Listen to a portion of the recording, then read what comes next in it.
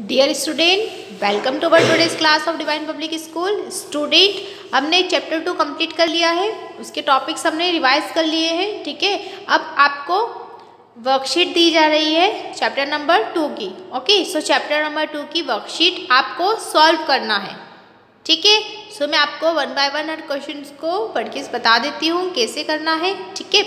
Then आपको इनके इस वर्कशीट के सारे क्वेश्चन सॉल्व करने हैं। ठीक है? तो तैयार हो जाइए क्वेश्चन इज़ फ़र्स्ट फिलअप्स यहाँ पर हमें ब्लैंक गिवन है तो इसे कंप्लीट करना है। 325 मल्टीप्लाई बाय ज़ीरो ये क्वेश्चंस प्रॉपर्टी पर बेस्ड है, ठीक है? सो हमने प्रॉपर्टीज़ पढ़ी है हॉल नंबर की। उन प्रॉपर्टीज़ पर बेस्ट क्वेश्चंस है। सो बहुत अच्छे से सॉल्व कीजिएगा।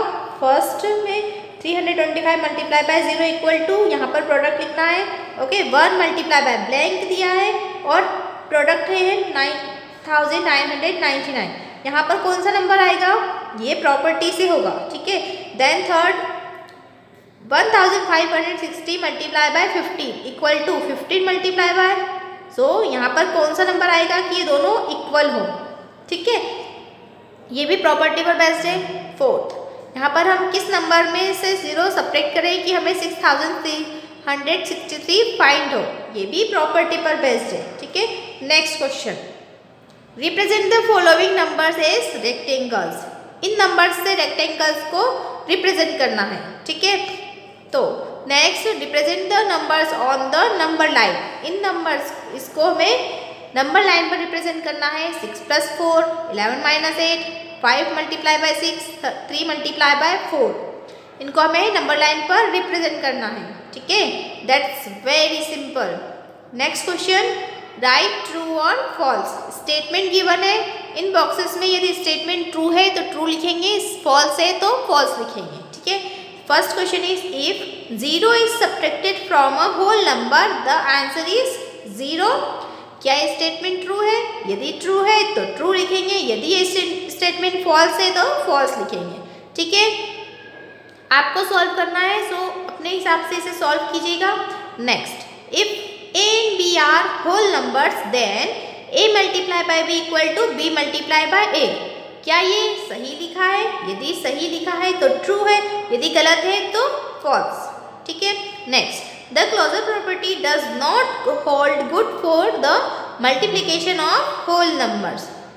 क्या क्लोजर प्रॉपर्टी अप्लाई नहीं होती है मल्टीप्लिकेशन में? ओके मल्टीप्लिके होल नंबर्स में मल्टीप्लिकेशन के लिए क्लोजर प्रॉपर्टी अप्लाई होती है या नहीं होती है? अगर नहीं होती है तो ट्रू लिखना है, अगर होती है तो फॉल्स लिखना है, ठीक है? दैट मीन्स यदि ये स्टेटमेंट ट्रू है। Does not hold good that means ये ट्रू है।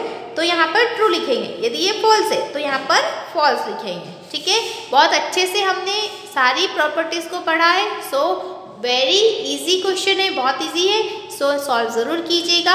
Next next fourth division of whole numbers is not commutative division of whole numbers is not commutative क्या ये स्टेटमेंट ट्रू है? तो ट्रू लिखेंगे फॉल्स है तो फॉल्स लिखेंगे। नेक्स्ट है dividend equal to divisor into question plus remainder क्या ये स्टेटमेंट करेक्ट है? यदि करेक्ट है तो ट्रू और यदि फॉल्स है तो फॉल्स ठीक है? Next question verify the distributive property देखिए डिस्ट्रीब्यूटिव प्रॉपर्टी क्या होती है? हमने बहुत अच्छे से पढ़ा है।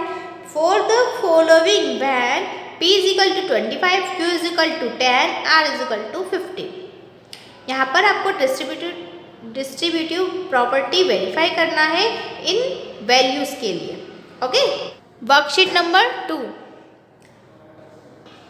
first question fill ups ये भी चैप्टर टू पर बेस्ड है ओके सो इसमें blank is the additive identity for whole numbers whole numbers के लिए एडिटिव आइडेंटिटी क्या है? हमें यहाँ पर लिखना है। Is the additive inverse for the whole numbers whole numbers के लिए एडिटिव इनवर्स क्या होता है? यहाँ लिखना है, ठीक है?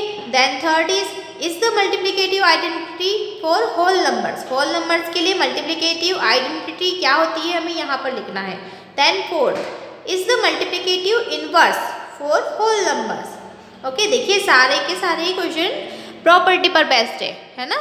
So that's very simple okay so यहाँ पर हमें क्या लिखना है? मल्टीप्लीकेटिव इनवर्स इज़ द क्या होता है multiplicative inverse for whole numbers okay next question right true और फॉल्स ट्रू और फॉल्स यदि स्टेटमेंट ट्रू है तो ट्रू लिखेंगे. यदि स्टेटमेंट फॉल्स है तो फॉल्स लिखेंगे. So statement is addition of whole numbers is closed addition of whole numbers is closed क्या ये स्टेटमेंट ट्रू है? यदि यस तो यहाँ पर ट्रू यदि ये स्टेटमेंट गलत है फॉल्स है तो हम यहाँ लिखेंगे फॉल्स ठीक है? Next question addition of whole number is not associative addition of whole numbers is not associative whole numbers की एडिशन के एसोसिएटिव नहीं होती है क्या? यदि ये स्टेटमेंट ट्रू है तो ट्रू लिखेंगे। यदि ये स्टेटमेंट फॉल्स है तो फॉल्स लिखेंगे। ठीक है? Next associative property for subtractive does not hold good for whole numbers देखिए प्रॉपर्टी के बारे में स्टेटमेंट है ये कि क्या associative property for subtractive subtractive के लिए associative property does not hold good for whole numbers ठीक है?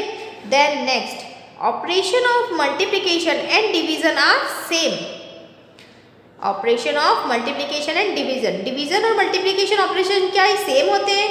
यदि सेम होते हैं तो ट्रू लिखेंगे। यदि फॉल यदि सेम नहीं होते हैं तो क्या लिखना है हमें? फॉल्स लिखना है। ठीक है? Next question determine the sum by suitable regrouping determine the sum by suitable regrouping first is 57 plus 305 plus 43 second is 187 plus 57 plus 113 Third is 1013 plus 773 plus 187 plus 227. Third, sorry, fourth is 161 plus 525 plus 475 plus 139. यहाँ पर हमें सम by suitable regrouping करके solve करना है। ठीक है? Next if a to 10 b is equal to 5 then show that. यहाँ पर ए की वैल्यू क्या लिखना है? टेन और बी की वैल्यू क्या लिखना है? फाइव यदि हम ये वैल्यू रखते हैं तो यहाँ पर हमें इस स्टेटमेंट को शो करना है। That means a minus b पहले हम ए माइनस बी फाइंड करना है देन आपको फाइंड करना है बी माइनस ए फिर इनका जो आंसर आएगा डिफरेंस आएगा दोनों का। उसको कंपेयर करना है। यदि इस तरह नॉट इक्वल आता है तो ये आंसर ये शो हो जाता है। और अगर नहीं आता है तो ये आंसर शो नहीं होगा। ठीक है? हमें ये वाला स्टेटमेंट लाना है। दैट मीन्स इन दोनों का डिफरेंस और इन दोनों का डिफरेंस सेम नहीं आना चाहिए। इस तरह से सॉल्व करना है। ठीक है? Next verify the associative property for multiplication associative property को वेरीफाई करना है मल्टीप्लीकेशन के लिए ओके? सो so, यहाँ पर वह A is equal to fifteen B is equal to twenty और C is equal to twenty five यहाँ पर सी आएगा okay? C is equal to twenty five देखिए एसोसिएटिव प्रॉपर्टी क्या होती है? साहचर्यता का नियम दैट मीन्स ये वाला स्टेटमेंट एसोसिएटिव प्रॉपर्टी होती है ठीक है? अब यहाँ पर वेरीफाई करना है कि क्या ये प्रॉपर्टी सही है या नहीं है। कैसे करेंगे? तो यहाँ पर हमें वैल्यू गिवन है a is equal to fifteen b is equal to twenty और c is equal to twenty five तो यहाँ पर ए बी और सी की वैल्यू पहले इस साइड लेफ़्ट हैंड साइड रखेंगे और फिर ए बी सी की value right right hand side रखेंगे। जिस तरह ब्रैकेट में गिवन है, इसी तरह ब्रैकेट में लिख करके सॉल्व करना है। तो पहले a multiply by b solve करेंगे।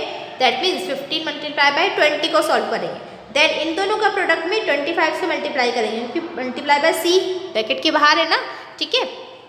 तो इस तरह से पहले ये वाला पोर्शन लेफ़्ट हैंड साइड का पोर्शन सॉल्व करना है देन राइट हैंड साइड में भी इसी तरह से पहले B multiply by C B और सी का प्रोडक्ट फाइंड करेंगे दैट मीन्स ट्वेंटी और ट्वेंटी फाइव का प्रोडक्ट फाइंड करेंगे, ठीक है? और देन इन दोनों के प्रोडक्ट में फिर फिफ्टीन से मल्टीप्लाई करेंगे। यदि इस लेफ़्ट हैंड साइड का प्रोडक्ट और राइट हैंड साइड का प्रोडक्ट इक्वल होता है तो ये वेरीफाई हो जाता है। क्लियर डेट सो इस तरह से आपको क्वेश्चन नंबर फिफ्थ सॉल्व करना है। ओके स्टूडेंट सो स्टूडेंट आपने बहुत अच्छे से तैयारी की है चैप्टर सेकेंड की। तो उस चैप्टर पर बेस्ट ये दो वर्कशीट आपको दी जा रही है। तो इन वर्कशीट को आपको सॉल्व करना है। ओके अच्छे से सॉल्व कीजिएगा, सारे क्वेश्चन सॉल्व कीजिएगा। क्लियर देट अब नेक्स्ट वीडियो में मैं आपको इसके सॉल्यूशन बताऊँगी, कैसे सॉल्व किए जाते हैं, क्या आंसर आया है।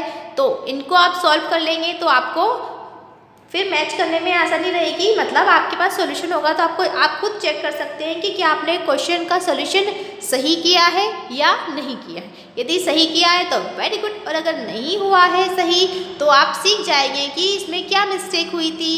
Okay so that's very simple question तो आपको ये क्वेश्चन सॉल्यूशन करना है वर्कशीट को सॉल्व करना है। नेक्स्ट वीडियो में हम इसके सॉल्यूशन करेंगे ओके सो थैंक यू